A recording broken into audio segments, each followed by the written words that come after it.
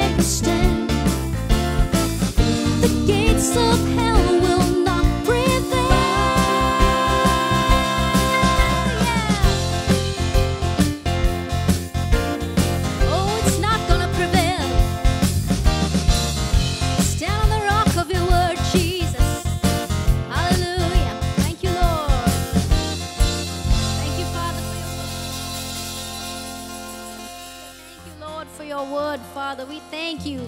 Hallelujah. We stand on the rock of your word that can never be shaken. Thank you, Father, for a firm foundation that we have. We are saved by your blood, Lord Jesus. Thank you, Jesus.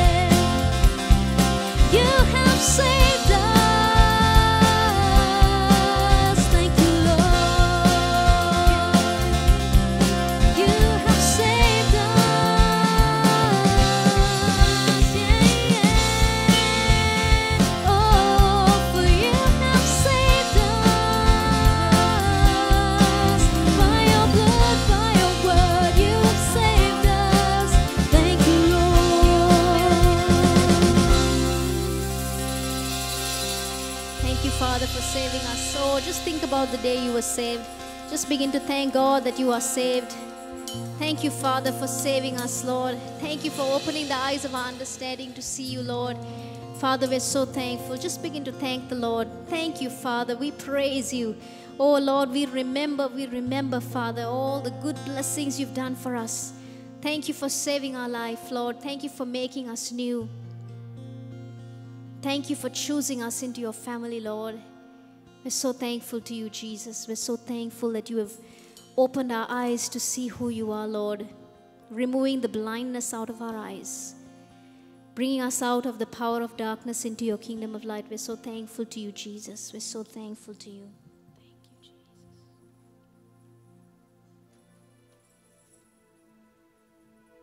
Hallelujah. Thank God he opened our eyes to see who he is. Even as we were singing about how, you know, we see on the rock, Jesus said that on the rock, upon this rock I will build my church. When Peter spoke those words, we see Jesus asked, he asked the disciples, Who do men say I am? And they answered, Some of them say you are you are Elijah or you're somebody else, one of the prophets. But then Jesus said, Who do you say that I am? And we say that when Peter, when he answered, he didn't answer out of his head or his head knowledge. He said, You're the Christ, the Son of the living God.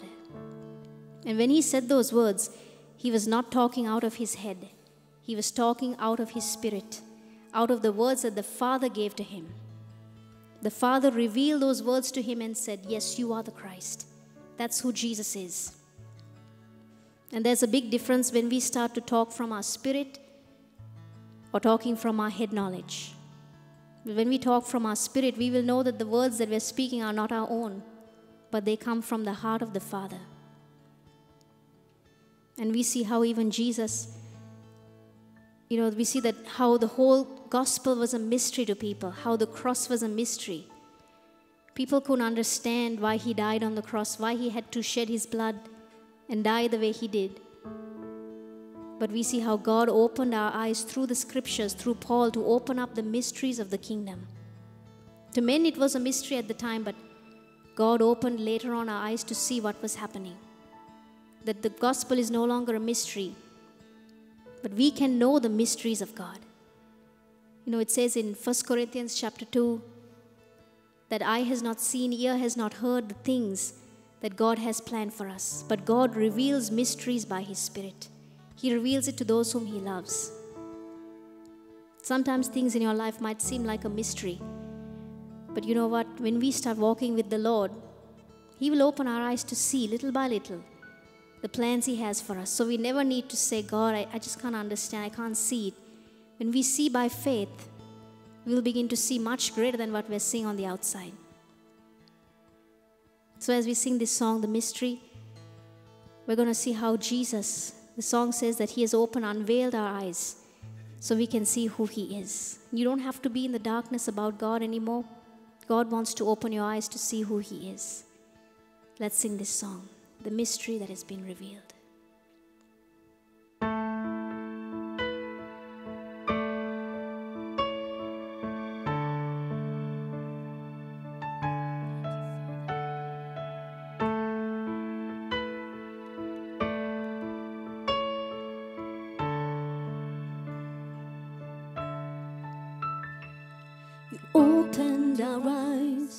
To see who you are, the mystery now revealed.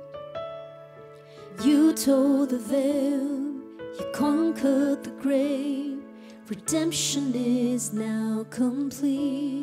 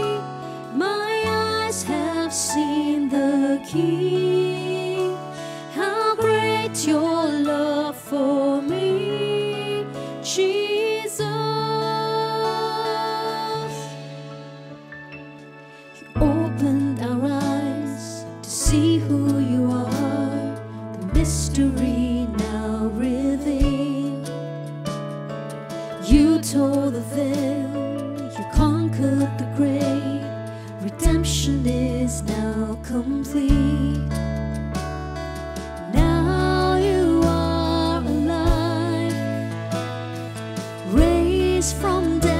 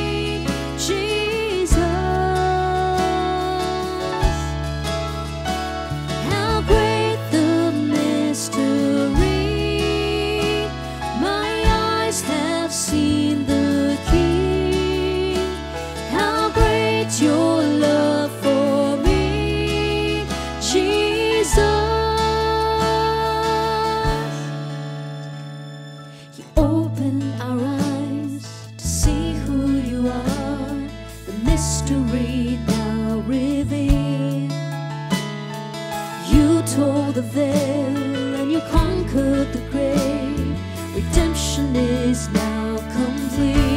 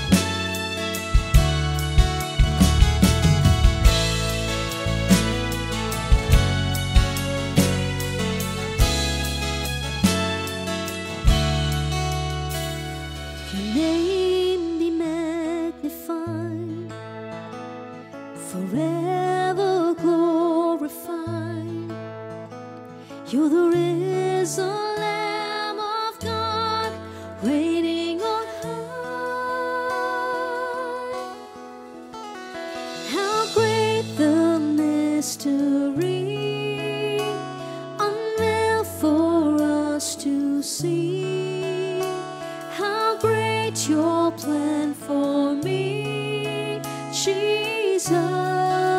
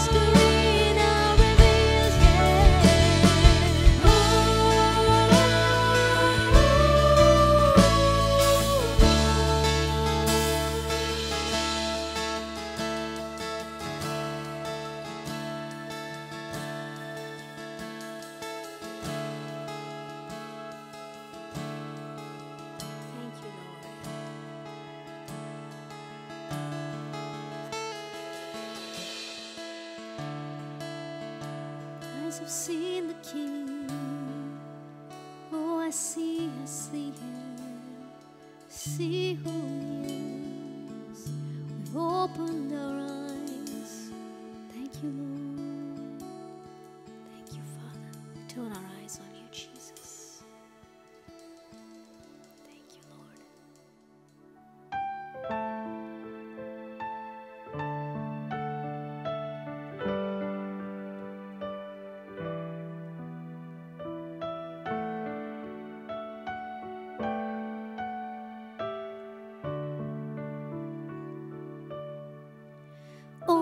So.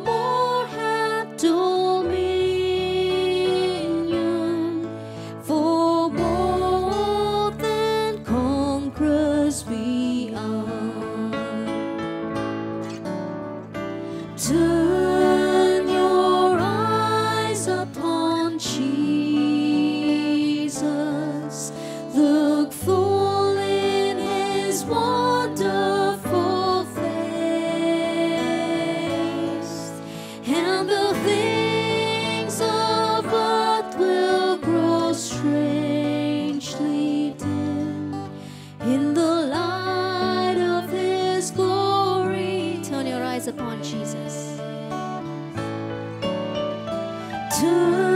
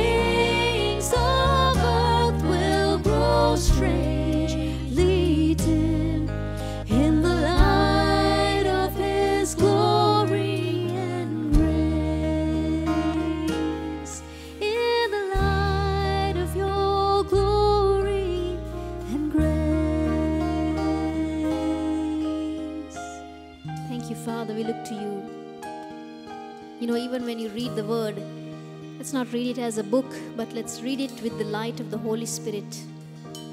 That's how the word can become revelation to us. Like we were singing earlier, how when Peter said those words, You are the Christ, the Son of the living God. When everybody else saw Jesus as just a prophet, but when Peter opened his mouth, Jesus knew this is not just man's words, but the Father in heaven who has revealed it. And even when you open your Bible, when you read the words, allow the Holy Spirit to reveal things to you that you never saw before. When we open the book, we can say, Father, I thank you for opening the eyes of my understanding to see your word, to see the, like Jeremiah says, how we can eat his word and taste his word. And his word becomes the joy and rejoicing of our hearts. Sometimes you might read a story in the word, you never saw it like that. The Holy Spirit starts enlightening your eyes to see things. So, Father God, we thank you this day, even as your word is open to us. Father, we thank you for revealing mysteries. You are a God who reveals mysteries to us. And Father, we know the greatest mystery you've already revealed to us. But even other mysteries, Lord, in life, we know that one step at a time as we walk by faith, you open up our eyes to see, Father, the great plans that you have for us. Before the foundation of the world, the plans you have for us. Thank you, Father. We receive all the wonderful things today. In Jesus' name, amen. Let's listen to the word.